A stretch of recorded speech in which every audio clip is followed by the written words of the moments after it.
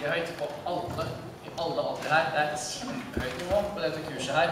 Eh, men uansett høyt nivå, man, treffer, man trenger effektivitet, man trenger struktur.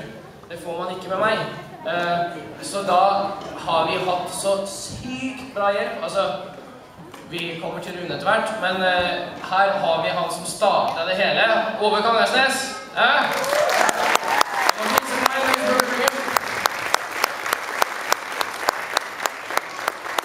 Og så da, ikke minst han som har jobbet masse med disse her i eh, hele hvor, hvor er han? Samuel? Er han det? Kom igjen, Samuel og Åke. Ja. Uten så flotte instruktører som vi har på kurset her, vi hadde aldri klart å få til Bare, bare. Hør nå.